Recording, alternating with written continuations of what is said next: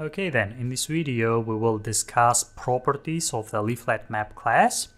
So we briefly discussed this one previously. So let's take a look at properties of the leaflet map class one more time. So for that I have opened it up um, the official documentation of the leaflet library. So in here in the menu I have here properties. So I'll just click on that and it will take me to the properties section. So here, for instance, I have controls and that's uh, there is just one property relating to the controls. And then here we have handlers. So like box zoom, double click zoom, basically these ones are, you know, kind of interactions and you can access them. So for instance, let's take a look at this dragging. So dragging means like, you know, dragging left and right, this one. Um, so we can access this one and if we say, hey, my map dot dragging, it will give us the handler or the base class for this, uh, the base class for this interaction. So we can read in here in here as well. So not a base class, abstract class. Sorry, I'll just make my screen a little bit smaller. So abstract class for map interaction handlers. And in here we have several methods like enable, disable, and by default this one is enabled. And you can disable this one if you want. And then this one returns true if it's enabled. So let's have a look. So let's uh, let's have a look into this one in practice.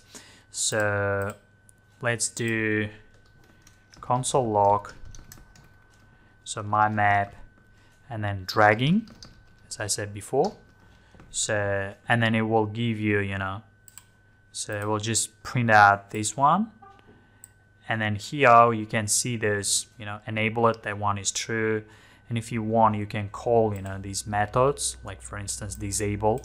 So if you want to disable it you just copy this uh, method and then you just say hey dot disable and it's gonna disable this interaction. So as you can see now this interaction has been disabled. So I cannot drag uh, the map to the left or right anymore. So enable it. So before I think it was enable it and definitely it was returning true. Uh, but now if I check this it's gonna be definitely it should be definitely uh, false because because I have disabled it. So now it's false, you see? So this is very basic thing. Um, so these are handlers or interactions. So you can access them through these properties. And then we have some map panes. So we discussed this one before. So then everything starting from here would be options, not properties. So like for instance, locate options. If you remember, we previously uh, implemented geolocation uh, and we implemented some of the prop options uh, in here. So then we have zoom options, pan options, like animate, ease linearity, and then we have zoom pan options, um, fit bound options, and that's it. So everything starting from here would be relating to l.marker class, not properties.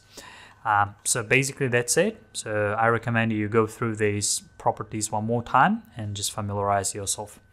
So that's it regarding this video and I will see you in the next one.